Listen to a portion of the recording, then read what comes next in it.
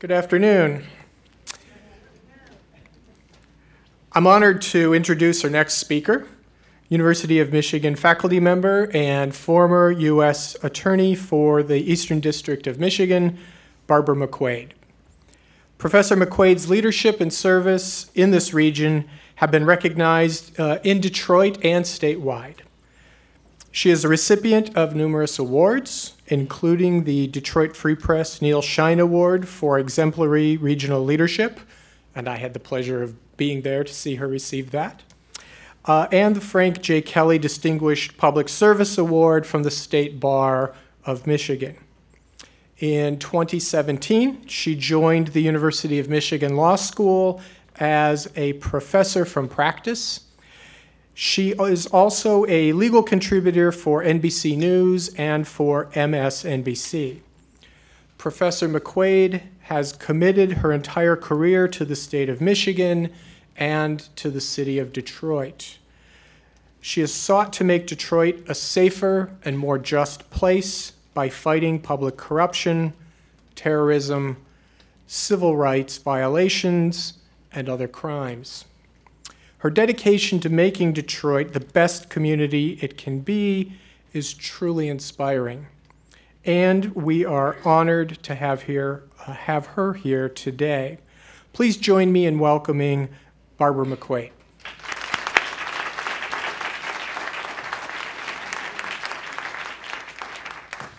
Well, thank you so much, Dean, for that kind introduction, and thanks to all of you brave souls who are still here. Bravo! Thank you for for staying. Um, I want to thank uh, Janelle Simmons and Alicia Davis for inviting me to speak here. When I heard that there was a combination between the two things I love most in this world, the University of Michigan and the city of Detroit, I said, "My God, I'm in." The only thing better would be if uh, a Detroit Tigers game would break out in the middle of the room or something. But um, so I'm so excited um, to be here. These really are uh, uh, my, my two passions, and what a wonderful opportunity to have a chance to bring them together. During my career um, as a lawyer, I worked in Detroit for 26 years, and so I saw the good times and the bad times. I saw improvements in fits and starts, and I will tell you, this one feels different. It really feels like Detroit has some momentum and has turned the corner, and it's uh, a really exciting moment and exciting opportunities. And I, I don't like to use the phrase Detroit's coming back because it suggests this backward looking thing of nostalgia and going back to the good old days. And frankly, the good old days were not so good for everyone. I instead love to think of it as a future Detroit, a different Detroit, creating something new that's a really exciting place that's inclusive for everybody and has opportunities for everybody. Uh,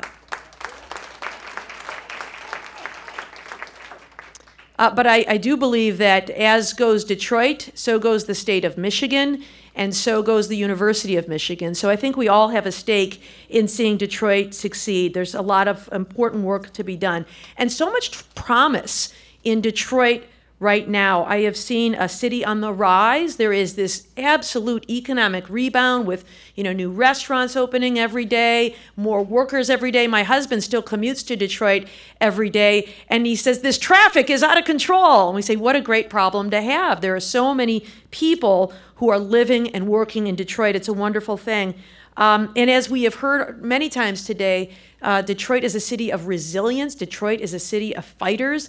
It's a wonderful community, and I loved every minute that I spent working with Detroiters in neighborhoods. Um, and in fact, my Twitter logo is of the Joe Louis fist because I love that symbol of Detroit's fighting spirit and resilience. We get knocked down, but we always get back up and keep on fighting. Um, but Detroit is also a place with a lot of challenges. And um, when you spend time in Detroit public schools and in Detroit's neighborhoods, there is a sense of frustration and sadness. Um, there are children left behind. There are schools that are not what we would expect or should expect. There is uh, a literacy rate that is too high, a crime rate that is too high, an employment rate that is too low. And so there's a lot of challenge that remains to be done. But uh, where there's challenge, there's opportunity. And what a great opportunity for all of us an opportunity to work in so many different places in Detroit to try to serve. And what an opportunity for our three campuses to come together. We surround Detroit. We've got Flint and Dearborn and Ann Arbor, and this incredible laboratory for learning just a few miles away down the street. And so, uh, a chance for the university to learn and contribute, a chance for the city to partner and engage and benefit from all of the great talent um, that we have. And thank you to everyone in this room, to all the stories that we've heard today of people who are sharing their talents with the city of Detroit and their time with the city of Detroit. We appreciate it so much. In my work as U.S. Attorney, I had a chance to uh, partner with communities in Detroit to try to uh, improve just outcomes for people living in Detroit.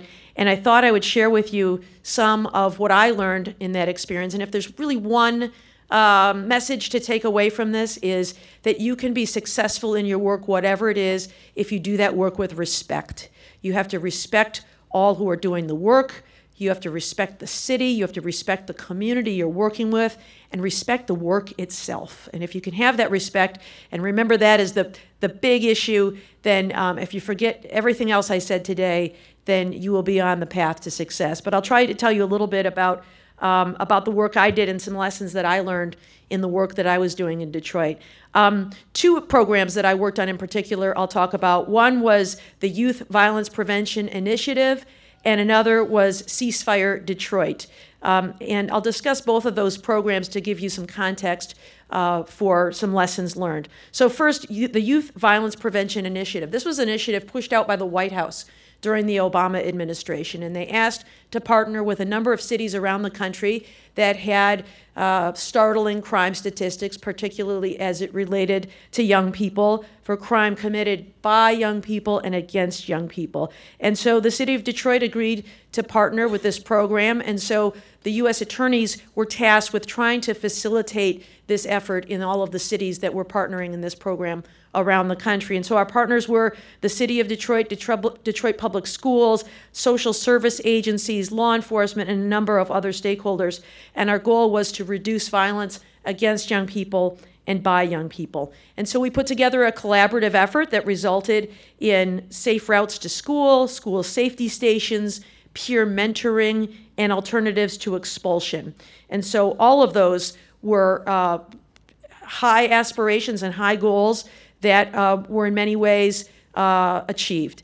The other project was one called Ceasefire Detroit, a program designed to reduce gun violence by members of street gangs. If you look at the statistics and what drives violence in Detroit, there are really three big drivers. One is drug trafficking, another is violent street gangs, and the other is domestic violence. And so the thought is if we could speak to these kids who are in street gangs and talk with them about the dangers of gun violence, maybe we can reach out and impact some of them. And so, once again, we had a number of partners federal, state, and local law enforcement, the faith community, social services organizations, and a research partner that helped us to identify the people who had some brush with the criminal justice system um, and involvement with a group or gang and who might be receptive to the message. We would have quarterly call ins where we would call in about 30 members of gangs and talk with them. And the message had three parts.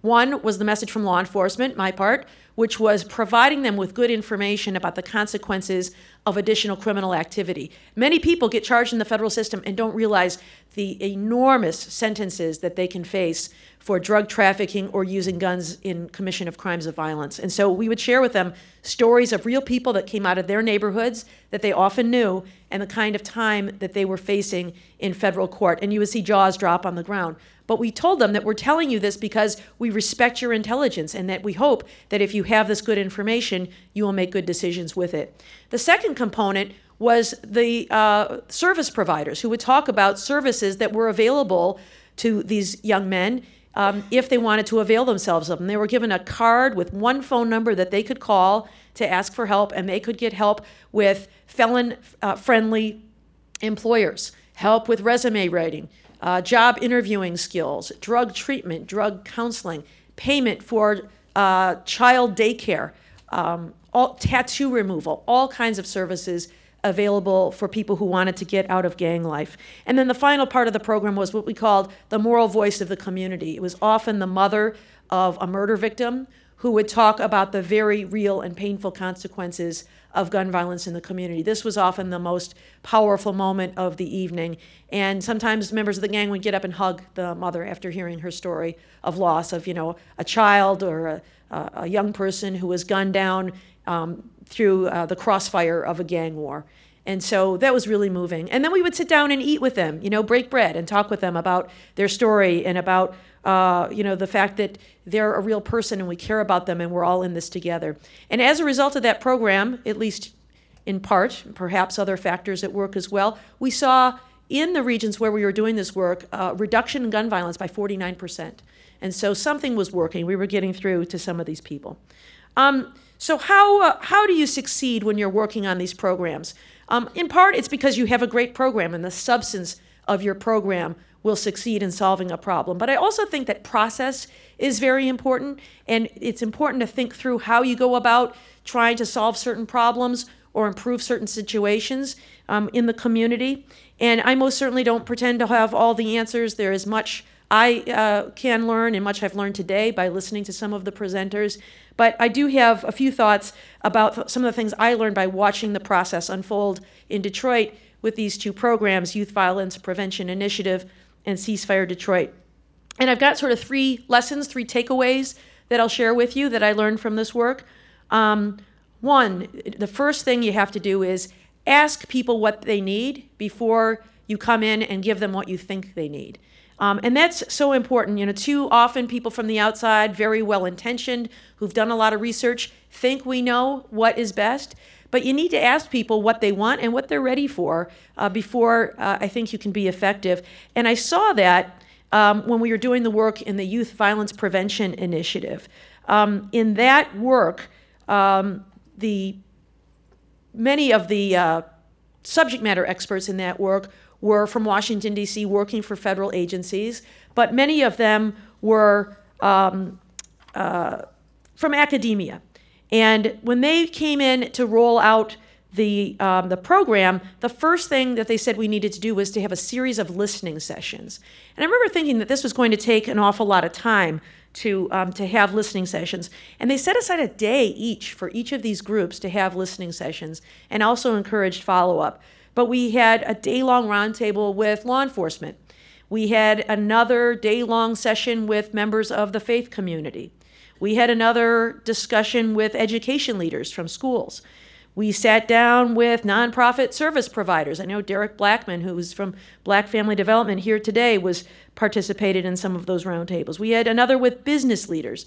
And the most important one that I probably wouldn't have thought of was sitting down with the young people themselves students, teens, uh, young people who are in school who made some of the best partners, some of the best comments, and some of the best uh, input that we received. And we learned so many things from them that helped shape the program that eventually emerged from this. And I think that some of these things never would have come to pass if we hadn't listened to these stakeholders.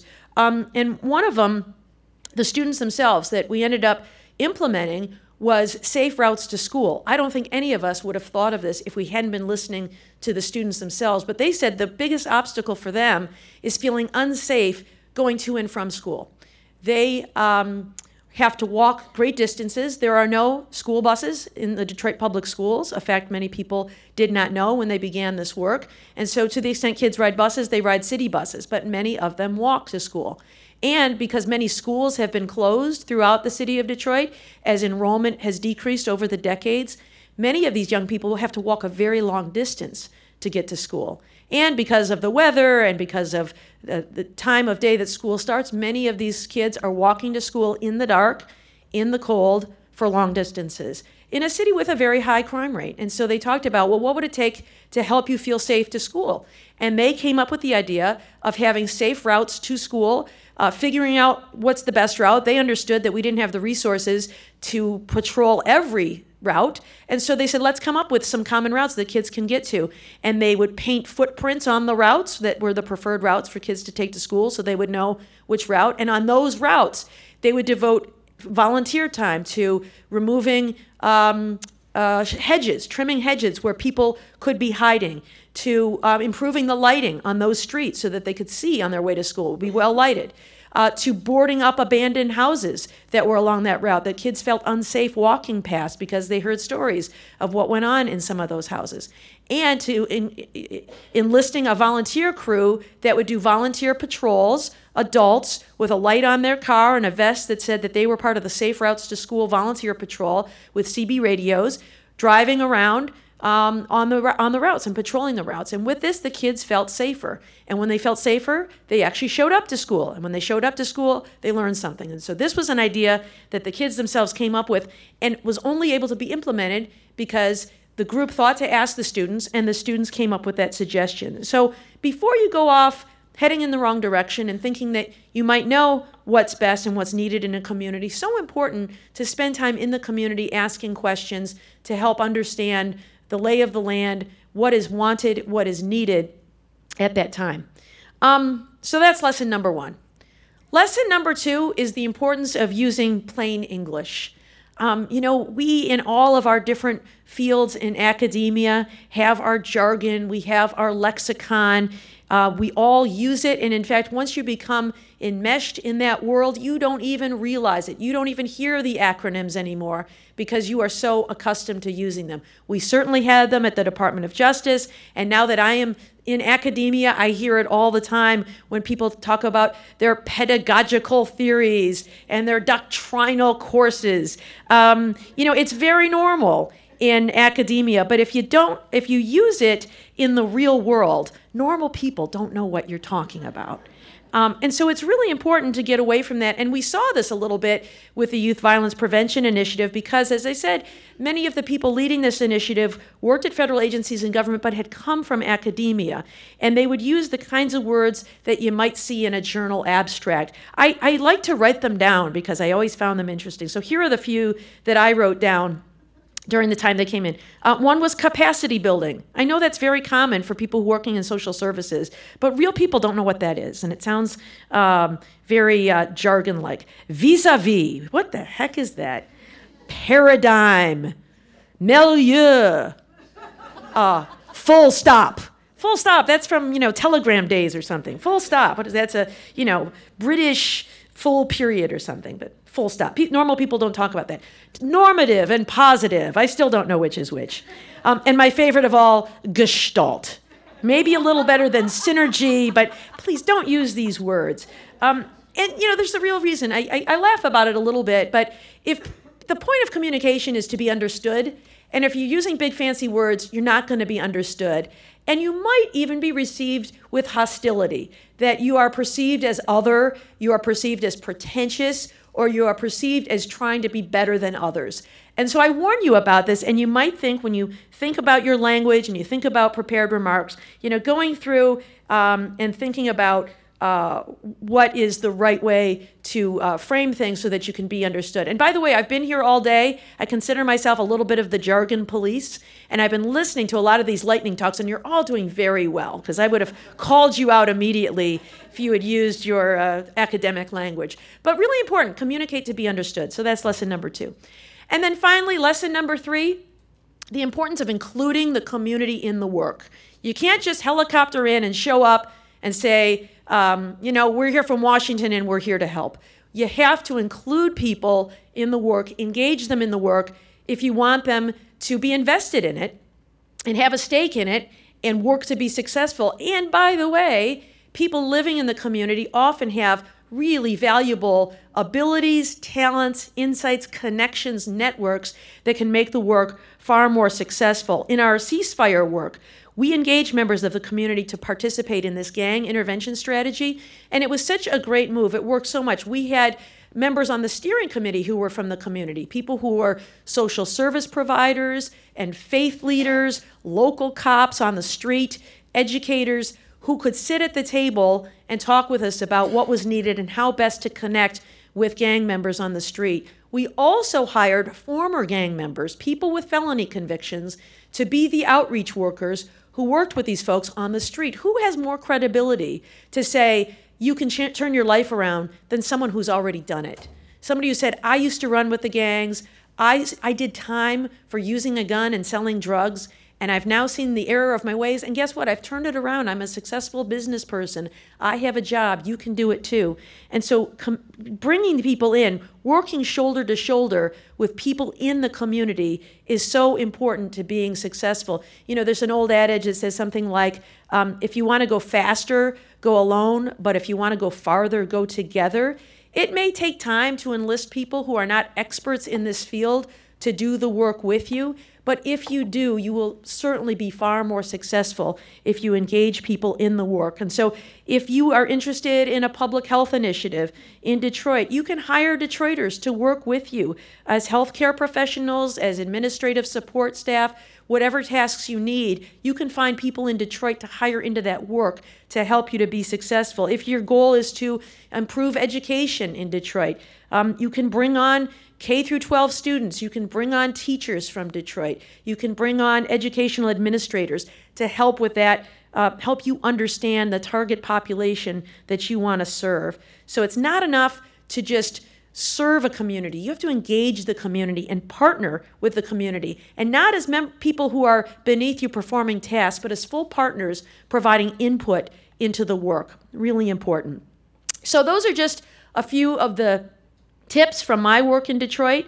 Um, and uh, it's important to think strategically, but as I said, if you can think with respect and have respect permeate everything that you do, then you can be successful. Um, if we listen, if we communicate, if we partner with members of the community, then I am confident that we have people in this room who will redevelop neighborhoods in Detroit. And there are people in this room who will reform education in Detroit. There are people in this room who will spark new businesses and services in Detroit. There are people in this room who will improve literacy in Detroit. All of those things we have the power to do if we do it with respect. And as a great Detroiter once said, R E S P E C T, Aretha Franklin, do it with respect and you will succeed. Thank you so much for all that you're doing to improve the quality of life in Detroit. I'd be happy to take your questions. Thank you. Uh, if you've been jotting down your questions, you could send them forward. We have volunteers to collect your questions so I can go through them in turn. I'm going to seize the moment and ask a question right now, if I may. Um, I, I, was wondering if, what perspective you have on the way federal policy and resources can have an impact locally and the extent to which the university and the city uh, can influence how those things are shaped and the way those resources can flow here. Yeah, so both of those programs I mentioned, Youth Violence Prevention Initiative and Ceasefire Detroit, came from federal grants. So many uh, federal departments offer grant funding, and the ability to write a good grant application is often elusive. And so, partnering with people in the city of Detroit to help them write a good grant application, there's a lot of need, but having uh, a fiduciary partner is really important. People uh, like like uh, uh, uh Tonya Allen at the Skillman Foundation often serve as the fiduciary partner on some of these grants. But finding an appropriate fiduciary partner and the ability to write a good grant application is a need that often exists in Detroit. But they are so eligible for dollars, and there's such compelling stories to be told and such great grant opportunities that I would love to promote that because a lot of good can be done with those opportunities. Thank you very much. Uh, any questions? Here we go. Great.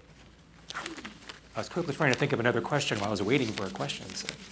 Um, if you could grant your successor as U.S. Attorney for the Eastern District of Michigan three wishes, what would they be? I like this.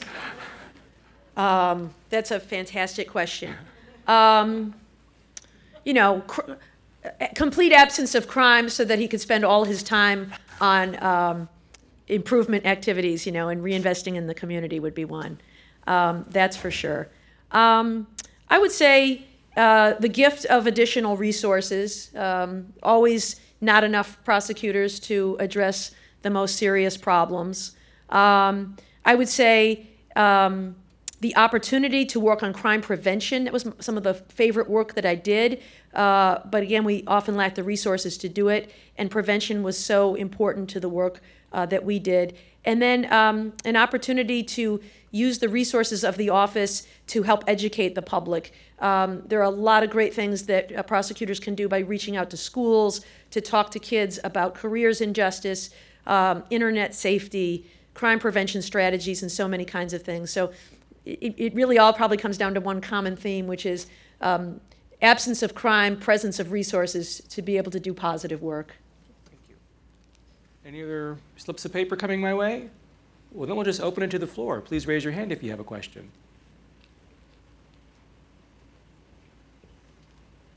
There we are. President Schlissel. Barb, you know, uh, we have such high rates of incarceration in certain subpopulations in our society. And your office, when you were the U.S. Attorney, obviously played a role in that. How do you think about the incarceration challenge faces? And what do you wish you could have done from your position if you had that level of authority? Uh, the question from President Schlissel was about uh, the challenge of mass incarceration in America and what do I wish we could have done at the U.S. Attorney's Office to try to address that problem. There was a, a strategy that Attorney General Eric Holder implemented in an effort to reduce mass incarceration in America and um, in 2013, which was um, directing prosecutors to be much more selective in charging crimes that carry mandatory minimum sentences. There are certain drug offenses that, based on the amount and whether the person has a prior criminal conviction, that can result in um, anywhere from a mandatory minimum of five years to life, depending on the quantity and the, the criminal record. Um, and you can sometimes get situations where members of a criminal conspiracy are all accountable for that same amount. Um, and, and, perhaps it is an appropriate sentence for defendants one and two, who are the kingpins and leader, leaders of a drug trafficking organization, who are bringing in, you know, kilograms and kilograms of, of illegal drugs into a community. But also farther down on that org chart are people who are couriers um, and street corner dealers, and they can sometimes be held accountable for the full amount of those drugs. And so what we end up with is, uh, you know, hundreds, if not thousands, of defendants doing massive amounts of prison time for drug trafficking offenses. What Attorney General Holder told us was that we should presume, the presumption should be that you would not charge uh, a mandatory minimum uh, charge that carries a mandatory minimum sentence unless certain factors were present violence, firearms, uh, substantial criminal history, or connections with a cartel or gang. And so, as a result of that, we did see a substantial reduction in people who were being sent to prison for a long time. And there was also a clemency initiative to try to release people who had previously been sentenced under the prior regime. Um, sadly, that has changed in the new administration, although um, the new administration does permit discretion for prosecutors to uh, be more selective in the use of that. And so I think time will tell whether the shift has really changed or not, because I think even conservatives favor reducing the prison population from a cost perspective.